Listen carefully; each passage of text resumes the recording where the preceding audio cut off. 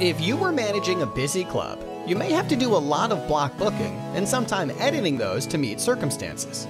We made block booking and editing so simple in our latest release.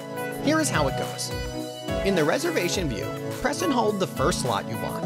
After a couple of seconds, simply swipe your finger to select all the adjacent slots you want to select.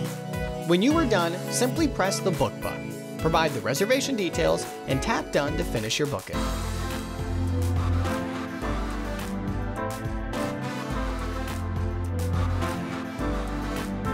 To edit the reservation, select the reservation you want to edit, then press and hold on a slot for a couple of seconds, then drag over courts you wish to retain the reservation.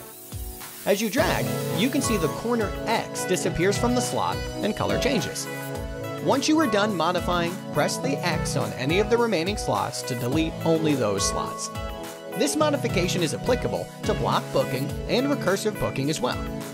You can also quickly get to Edit Screen from upcoming reservation list and tapping the Edit button there.